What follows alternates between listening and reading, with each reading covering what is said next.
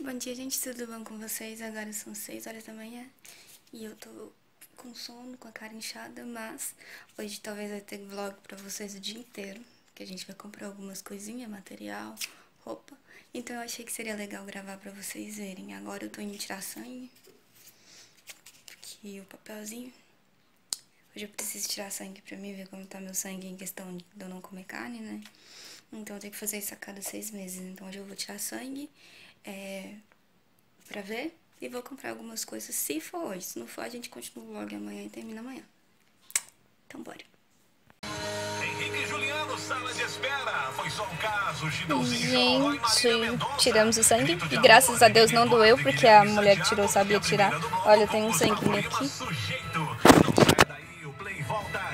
Trazendo muito Gente, eu peguei uma calça 36 e 38, mas eu tô achando que tá meio apertado. Não sei se vai caber, eu estou gorda. Vou ter que vestir 40. Essas formas é tudo pequeno, cara. Tudo pequenininho. Ai, Deus. Shorts pra vocês, porque minha mãe entrou aqui dentro pra mostrar e ela ficou aqui dentro pra ela ver quando eu ia vestir. Mas assim que eu chegar em casa eu mostro e eu vesti tipo assim, isso aqui tudo. E só coube um.